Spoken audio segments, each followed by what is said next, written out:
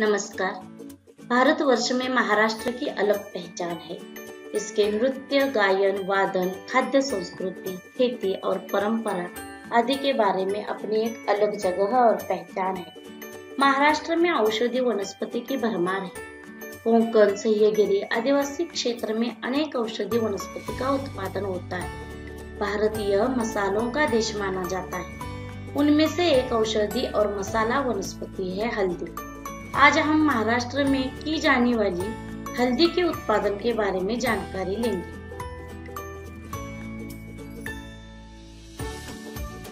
हल्दी के औषधीय गुण। हल्दी को आयुर्वेदिक पदार्थ माना जाता है। ऐसा मानने के पीछे इसमें मौजूद औषधीय गुण है। इसके औषधीय गुण कई बीमारियों से बचाए रखने और उनसे राहत दिलाने में मदद करते हैं। वैज्ञानिकों द्वारा हल्दी को लेकर किए गए रिसर्च के मुताबिक, इसमें antioxidant anti inflammatory choleretic anti microbial antiseptic anti cancer anti tumour liver को सुरक्षित रखने वाला गुण, हृदय को सुरक्षित रखने वाला गुण और किडनी को सुरक्षित रखने वाला, यानी उसे नुकसान से बचाने वाले इसमें बहुत सारे गुण हैं।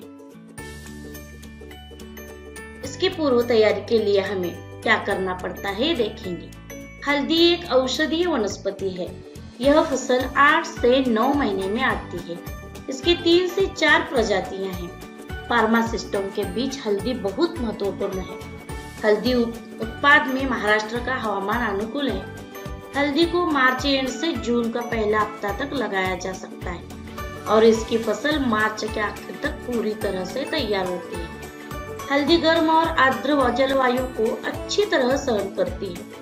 तापमान की आवश्यकता है। हल्दी को 640 से 4200 मिलीमीटर की वार्षिक वर्षा वाले जलवायु में उगाया जा सकता है। इसको मिट्टी कैसे लगती है? इस फ़सल को मध्यम गुणवत्ता वाली, अच्छी जल निकासी वाली मिट्टी की आवश्यकता होती है। यह फ़सल नदी के किनारे जलोढ़ मिट्टी में अच्छी तरह से उगती है। यह फ़सल छह से साढ़े सात की नमी वाली मिट्टी में सबसे अच्छी बढ़ती है। बहुत पानी पकड़ने वाली ऐसी मिट्टी में हल्दी के कंद अच्छी तरह से विकसित नहीं होते हैं। पानी जड़ कर रखने वाली मिट्टी नहीं चाहिए।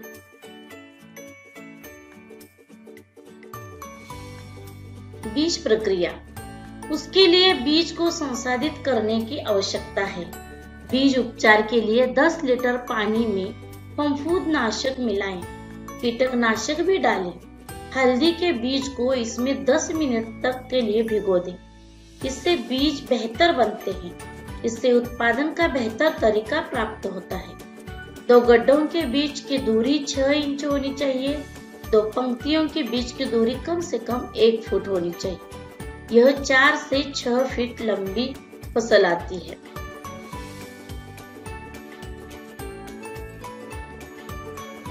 शाकनाशी का प्रयोग हल्दी लगाने के बाद मिट्टी के नम होने पर दूसरे से तीसरे दिन एट्राजिन चार से पाँच ग्राम प्रति लीटर, साथ ही दसवें से बारहवें दिन ग्लाइगोसेट चार से पाँच मिली प्रति लीटर पानी में भिगो दें। हालाँकि हल्दी के अंकुरण के बाद किसी भी शाकनाशी का उपयोग नहीं किया जाना चाहिए। उर्वरित प्रबंधना चूँकि हल्दी एक कंद वाली फ़सल है। इसलिए बेहतर उपज प्राप्त करने के लिए इसे सेंद्रीय खाद लाभदायी होता है। इसीलिए प्रति एकड़ 25 से 30 बैलगाड़ी में अच्छी तरह से सड़ी हुई गाय का गोबर इस्तेमाल करना चाहिए। यदि गोबर उपलब्ध ना हो तो वर्मी कंपोस्ट या फिर जैविक खाद का भी प्रयोग किया जा सकता है। रासायनिक उर्वरकों का प्रयोग संतुलित एवं समयबद्ध तरीके से करना चाहिए।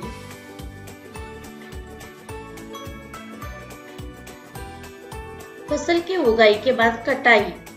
आठ से नौ महीने की फ़सल है ये। हल्दी की पत्ती मिट्टी में सूखने के बाद हल्दी की फ़सल कटाई के लिए तैयार है।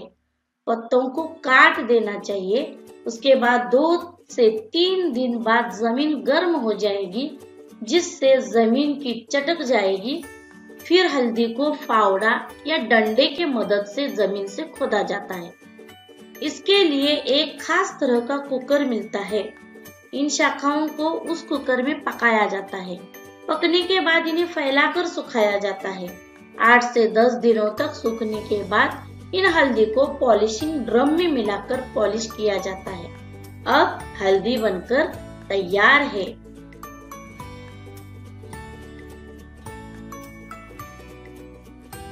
एक एकड़ में 25 क्विंटल तक की उपज हो सकती है। इसके लिए 10 से 11 क्विंटल बीज की आवश्यकता होती है। सबसे पहले ज़मीन की जुताई की जाती है, रोटर को घुमाया जाता है और खाद को ज़मीन पर लगाया जाता है। चार फुट पर फुहार बनाकर उसका गद्दा तैयार किया जाता है। भाग के दोनों ओर बीज को संसाधित और गांठ करना पड़ता है।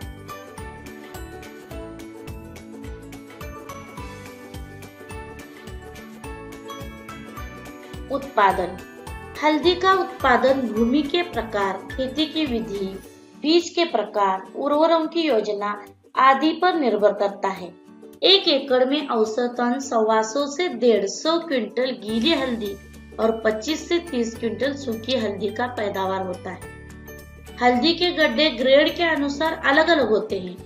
इसे तीन से चार प्रकारों में वर्गीकृत किया जाता है। पहली उच्च गुणवत्ता वाली हल्दी को अच्छे दाम मिलते हैं और फिर हल्दी का रेट निम्न ग्रेड के अनुसार निर्धारित किया जाता है। बीज के लिए रखे जाने वाले गड्ढों को, जेठे गड्ढों, अगूठे के गड्ढों को और हलकुंडों को अलग करके छायादार और हवादार जगह पर रखना चाहिए। हम मूल बीज को फिर से ट्रांसप्लांट कर सकते हैं या बेच सकते हैं।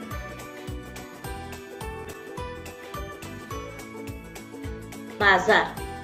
दुनिया की तुलना में हल्दी उत्पाद में भारत देश का 80 प्रतिशत हिस्सा है।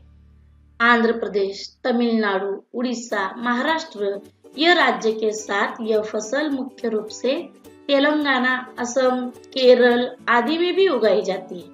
महाराष्ट्र में मुख्य रूप से सांगली, सातारा, जलगांव, नांदेड़, उस्मानाबाद, चंद्रपुर, गोंदिया, वाशिम, सोलापुर आदि ज़िले में उगाई जाती है। महाराष्ट्र की जलवायु कोंकण तट से लेकर पूर्वी विदर्भ तक हल्दी की खेती के लिए उपयुक्त है। गर्मी के पानी के गंभीर कमी वाले क्षेत्रों के लिए हल्दी नौ महीने की नगदी फ़सल है। सांगली बाज़ार एशिया में हल्दी के बाज़ार के रूप में प्रसिद्ध है। इस बाज़ार का इतिहास एक सदी का है। इस बाज़ार में महाराष्ट्र के कोने कोने से और कर्नाटक से भी हल्दी आती है। हल्दी को इस बाज़ार में सही मूल्य में खरीदा और बेचा जाता है। इसलिए सांगली के बाज़ार को किसान अधिक पसंद करते हैं।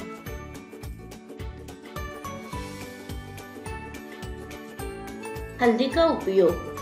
रसोई की शान होने के साथ साथ हल्दी कई चमत्कारिक औषधीय गुणों से भरपूर है। आयुर्वेद में तो हल्दी को बहुत ही महत्वपूर्ण माना गया है, क्योंकि हल्दी गुमचोट के इलाज में तो सहायक है ही। साथ ही खांसी सहित अनेक बीमारियों के इलाज में काम आती है। इसके अलावा हल्दी सौंदर्यवर्धक भी मानी जाती है और प्राचीन काल से ही इसका उपयोग रूप को निखारने के लिए किया जाता है। वर्तमान समय में हल्दी का प्रयोग उबटन से लेकर विभिन्न तरह के क्रीमों में भी किया जाता है।